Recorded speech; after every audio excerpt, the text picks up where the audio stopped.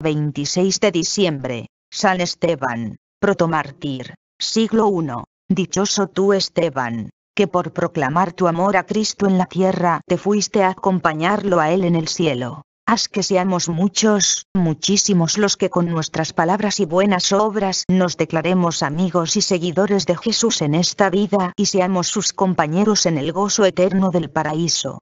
Amén. Esteban significa, coronado Esteb, corona. Este santo se llama protomártir, porque tuvo el honor de ser el primer mártir que derramó su sangre por proclamar su fe en Jesucristo. Esteban era uno de los hombres de confianza de los apóstoles.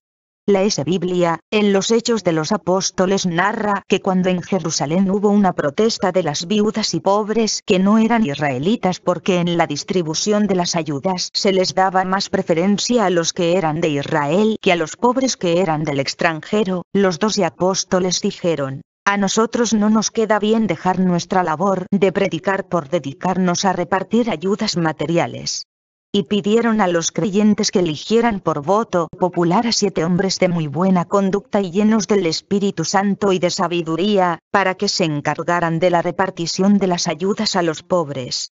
Y entre los siete elegidos, resultó aclamado Esteban, junto con Nicanor, Felipe y otros fueron presentados a los apóstoles los cuales oraron por ellos y les impusieron las manos, quedando así ordenados de diáconos, palabra que significa ayudante, servidor. Diácono es el grado inmediatamente inferior al sacerdote. Los judíos provenientes de otros países, al llegar a Jerusalén empezaron a discutir con Esteban que les hablaba muy bien de Jesucristo, y no podían resistir a su sabiduría y al Espíritu Santo que hablaba por medio de él. Siempre les ganaba las discusiones.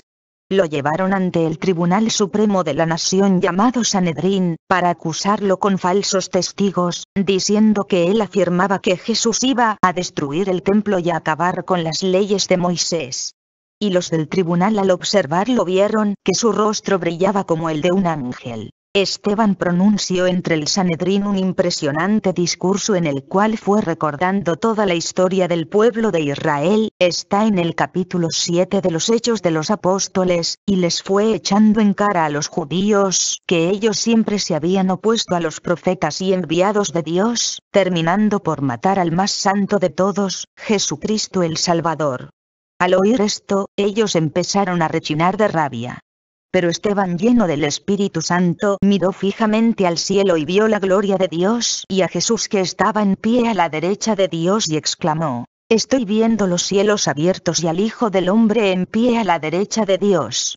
Entonces ellos llenos de rabia se taparon los oídos y se lanzaron contra él, lo arrastraron fuera de la ciudad y lo apedrearon.